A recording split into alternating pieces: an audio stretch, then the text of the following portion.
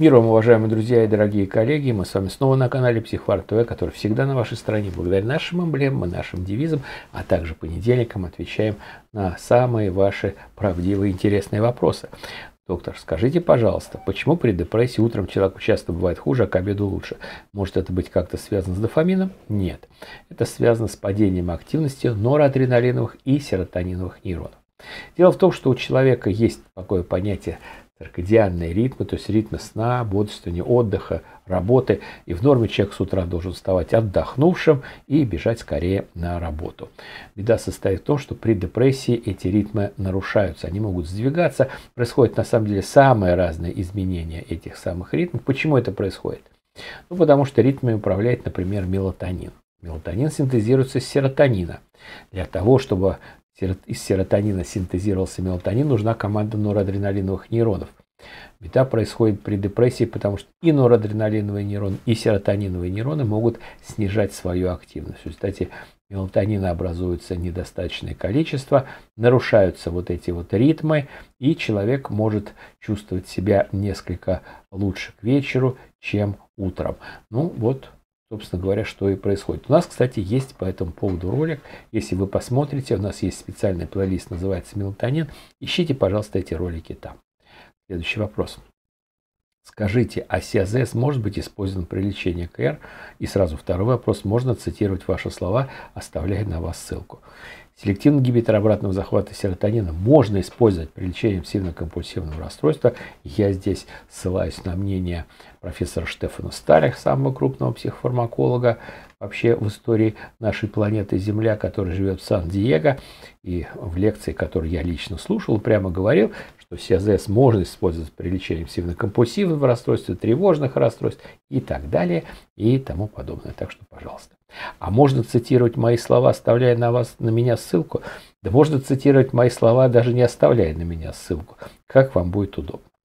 Следующий вопрос. Док, здравствуйте. А правда, что пароксетин это самый сильный э, ИОЗС? А, то есть ингибитор обратного захвата серотонина. Нет, на самом деле это неправда. Дело в том, что в принципе, вот по силе воздействия на белок, обеспечивающий обратный захват серотонина, все эти антидепрессанты из этой группы, они, в общем, похожи друг на друга. Они, конечно, отличаются, кто-то больше, кто-то меньше, но, в принципе, это отличие не такое уж и большое.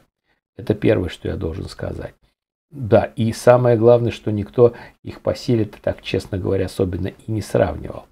Но вот что их отличает? Их отличает различные так называемые дополнительные фармакологические свойства.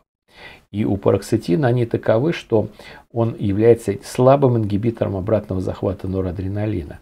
Он как бы является недоантидепрессантом, да, недосантом, не только противотревожным препаратом, но он еще чуть-чуть не дотягивает до нормального антидепрессанта. Может быть, из-за этого возникла идея, что он самый сильный СИАЗС. Это немножко не так. Еще у него есть возможность а, блокировать ацетилхолиновые нейроны, из-за чего он меньше дает побочных эффектов, связанных с желудочно-кишечным трактом, свойственных селективным ингибитором обратного захвата серотонина, и, соответственно, больной тревожится меньше. То есть у него есть целый ряд свойств, которые на самом деле мало кто измерял. Если вы будете заглядывать в различные исследования, то вы э, найдете просто э, ну, какие-то отдельные исследования, которые вряд ли можно объединить в какой-то э, комплекс работ. Тем не менее, профессор Штефан Сталь, на которого я уже ссылался, он считает, что надо обязательно, если ты врач, конечно, врач хороший, надо обязательно учитывать дополнительные свойства селективных ингибиторов обратного захвата серотонина. Я вам про них рассказал. Как бы то ни было, у нас есть ролики про пароксетин. Смотрите, там больше информации. Следующий вопрос.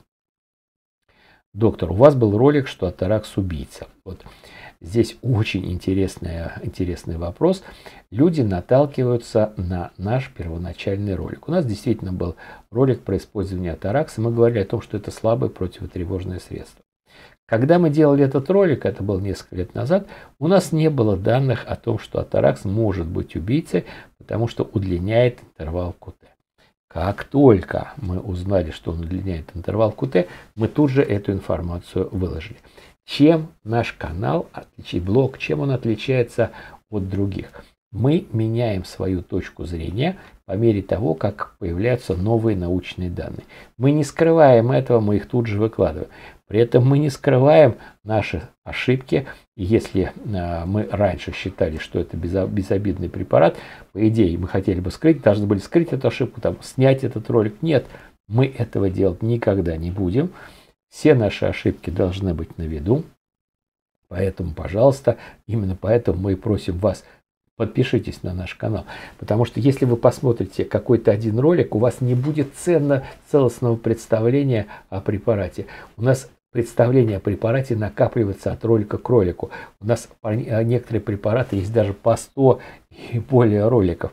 Ну, потому что они представляются нам очень-очень важными. Так что придется, если вы хотите действительно знать препараты, придется смотреть все. А для этого, конечно, удобней подписаться на, на наш блог.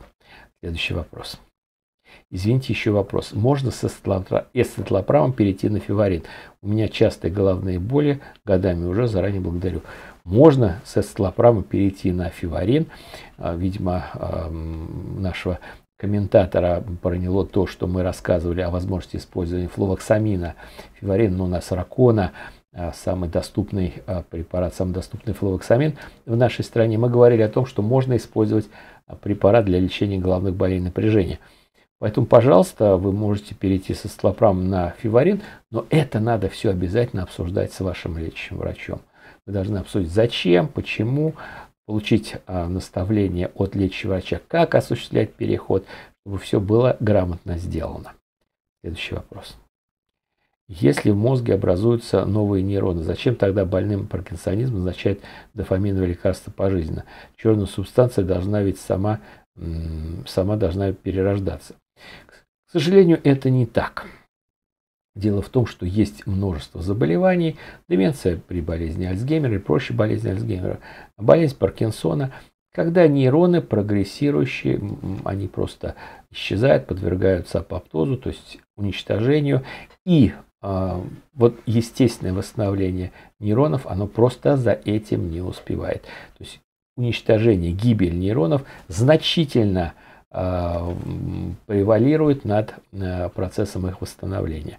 Так что поэтому приходится пожизненно принимать дофаминовое лекарство. Ничего тут не поделаешь. Но это не значит, что нейроны не восстанавливаются. Нейроны восстанавливаются, особенно в норме, если мозг нормальный. Следующий слайд. Следующий вопрос, извините. Здравствуйте. Может ли гамк тормозить глутаматный нейрон? Если да, то известно ли вам, при каких обстоятельствах это происходит, через какую цепочку нейронов включается торможение? Ну, на самом деле гамк и глутаматные нейроны, они контактируют напрямую. Гамк нейроны и глутаматные контактируют напрямую.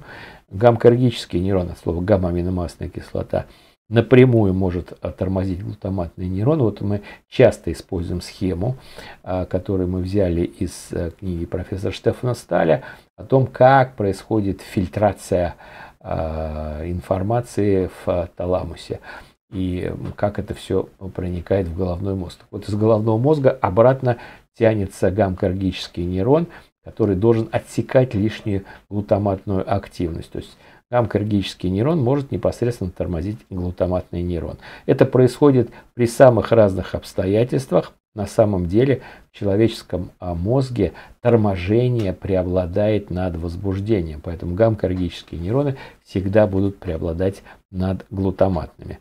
Цепочки могут быть на самом деле разные, могут они контактировать не только напрямую, но могут контактировать и через а, серотониновые нейроны. В общем, это все достаточно сложно. Тем не менее, вы должны знать, что может тормозить глутаматный нейрон напрямую. Э, следующий вопрос. Лекция познавательная, но меня пугает еще сильнее. Врач-психиатр не должен говорить, что это не лечится. Это лечится когнитивно-поведенческой терапией, это лечится а, антидепрессантами типа цепролекса. Это речь идет о генерализованном тревожном расстройстве. Я не говорил, что генерализованное тревожное расстройство не лечится. Я говорил, что генерализованное тревожное расстройство лечится плохо, и генерализованное тревожное расстройство часто ведет к инвалидности. Другое дело, вот и многие испугались, другое дело, они все это перенесли на себя, на свой собственный диагноз. Вот этого делать не надо. В нашей стране генерализованное тревожное расстройство очень часто ставится просто с потолка. То есть идет просто гипердиагностика. Поэтому на самом деле ваше тревожное расстройство может быть совсем другим. Оно может действительно очень хорошо лечиться, просто потому что это не генерализованное тревожное расстройство. Не бойтесь. Более того, раз уж вы так напугались, в скором времени у нас будет цикл лекций о том, какую пользу приносит психическое расстройство людям. А есть очень много психических расстройств, есть очень много пользы и выгоды, которые психические расстройства приносят людям. Следующий вопрос. Док, а вот употребление спайсов может развить шизофрения или это генетика? Употребление любых наркотиков может спровоцировать у человека психоз и начало шизофрении. Это довольно часто наблюдающееся явление. Но это только провокация начала, ну или провокация обострения. Особенно если больной шизофрении использует, употребляет наркотики. Но а, само заболевание шизофрении – это генетическое заболевание. И есть все больше и больше данных, которые говорят о том, что это генетическое заболевание. А, у нас, кстати, есть ролики о том, как шизофрения наследуется. Так что, пожалуйста, смотрите. Наркомания сама по себе к шизофрении не приводит. Провоцировать обострение, если уже шизофрения есть, может. И это очень и очень часто наблюдается в жизни. Следующий вопрос. Михаил Юрьевич, подскажите, пожалуйста, если человек в депрессии лежит без сил, то какие нейроны поражены? Ну, прежде всего поражены норадреналиновые нейроны – Потому что норадреналиновые нейроны – это наша с вами сила мышечных сокращений, это наша с вами физическая активность, это низкая утомляемость, это возможность двигаться, там возможность думать, быстро достаточно думать. Ну и плохо работают дофаминовые нейроны, потому что у человека нет мотивации. Ему даже не, не то, что он слаб, не то, что у него утомляемость, но ему даже не хочется вставать. Так что не работают дофаминовые и норадреналиновые нейроны. Вопросы на сегодня закончились. Мы благодарны вам за вашу поддержку, за вопросы. Мы будем продолжать отвечать на ваши вопросы. Посылайте ваши вопросы. Мы им очень и очень рады. Как всегда, в конце я вас прошу, подписывайтесь на наш канал, становитесь спонсором, пишите комменты, ставьте лайки.